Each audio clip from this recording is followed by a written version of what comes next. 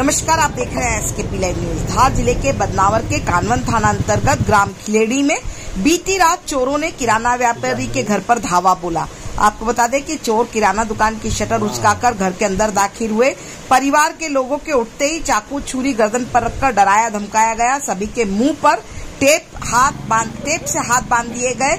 अलमारी की चाबी लेकर अलमारी में रखे सोना चांदी के आभूषण व नकदी चार लाख पचास हज़ार रूपए लेकर फरार हो गए। बताया जा रहा है कि लगभग साढ़े तीन सौ ग्राम सोना के आभूषण लेकर बदमाश फरार हुए परिवार के लोग इस घटना के बाद से दहशत में है। सूचना मिलते ही कानवन थाना प्रभारी राम सिंह राठौर, एसडीओपी शेर सिंह बुरिया घटना स्थल पर पहुँचे। बदमाशों की तलाश में पुलिस जुटी। देखे खबर इसके पी लाइव न्यूज़ पर। उन्होंने ना अंदर गए वो। अच्छा। अंदर आके गले का ताला तोड़ा उन्होंने। ताला तोड़ के सीधे पापा के पास आ गए। आके मुँह चिप मुँह पे टेप चिपका दी उन्होंने। टेप चिपका के रख दिया। अरे रख दिया। कि जो भी माल है वो निकाल दे तभी काट दूँ देखो मैं। पापा के मेरे पास कुछ भी नहीं है। कि निकाल दिया कि निकाल दिया कि निकाल दिया वो फिर मेरे पास आया वो। मेरे पास आके चाकू रख दिया गले पे मेरे। मंगलसूत्र तोड़ के ले गया मेरा। और छोटी बच्ची को बोला कि इसको चुप कर ले तो इसको भी काट दूँगा मैं अभी। अच्छा अच्छा। मम्मी के पास गए मम्मी गले का मंगलसूत्र तोड़ दिया उसने। ठीक तू भी दे रही है कि दे रही माल मेरे को? तो क्या दे रही हूँ देखो माल तो उसके गले का मंगलसूत्र तोड़ा उसने। फिर लद्दे मेरे को चाबी। फिर चाबी ली उसने हाथ पकड़ के गले के पास लाया वो पकड़ के चाबी से तब ताला खोला उसने। ताला लेके खोल के सब ले गया सामान। कि कितना क्या क्या था उसमें सामान में क्या क्या ले गए वो? पाँच लाख रुपए नकदी थे उसमें।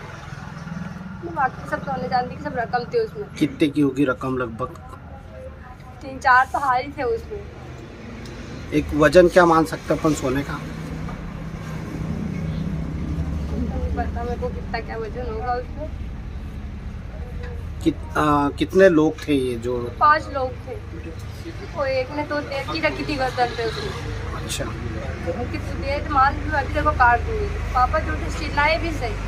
तो ये चिल्ला में तब तभी मारो चार बार तो करने की कोशिश करी। पांचवी बार तो आया ही था तो उसको पकड़ लिया तो फिर चला गया दूर। तो अच्छा अगर पांचवी बार इसने आवाज़ निकाल लिया ना तो अभी मार डालूँगा इसको। घर परिवार में और कितने लोग थे टोटल घर में अंदर? दीदी की लड़की थी और मेरे दो बच्चे थे और भैया और मम्मी पापा थे। अच्छा उन लोगों ने किसी के साथ लगाने की कोशिश की तो उसका मोबाइल तोड़ दिया। उसके भी हाथ दोनों हाथ बाँध दिए टेप से मुँह पे टेप चिपका दी। और उसको मारा सेल। घर परिवार में जो लोग थे उनको साथ में मारपीट करी? भैया को और पापा को। साढ़े नौ बजे दुकान मंगल करी उन्होंने ग्यारह बजे भोजन करा भोजन करके चौथ थी उन गुड़िया की भोजन करके सो गए। अब सोने के बाद में अच्छा तो एकदम आवाज़ आई शटर की। मैं जग गया। जगने के बाद में अब मेरे को मालूम थोड़ी कि यार चोर है अपने यहाँ। अब चोर के क्या पता। सामने खड़े हो गए तीनों। बड़े बड़े चाकू लेके। अब चाकू लेने के बाद में क्या मेरे मुँह पे टेप लगा। ये आवाज़ लगाने लगा। इसकी मम्मी लगाने लगी। इसकी मम्मी से चाबी ले ली। चाबी ले कहाँ है माल? पानी क्या है? नहीं। इसका मोबाइल लिया। फेंका। गुड़िया का मोबाइल ले ले। मेरा मोबाइल नज़र नहीं आया। जो भी सामान था वो सब ले गए। ये। हाँ। क्या क्या थी सामान? चार चेन थी। चार जोड़ चूड़ी थी। हाथ की।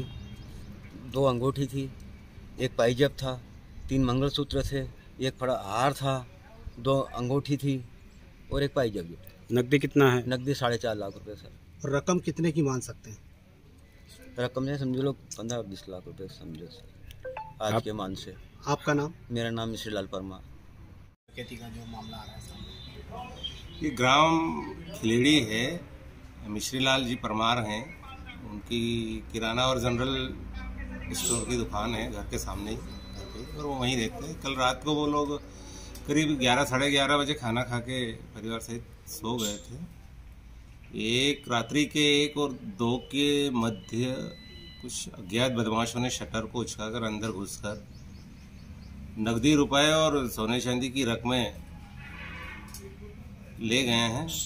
मिश्रलाल जी की रिपोर्ट पर प्रकरण पंजीबद्ध कर विवेचना में है। और एक पार्टी आरोपियों की पता रशी हेतु बाग टाटा की तरफ़ रवाना की गई है।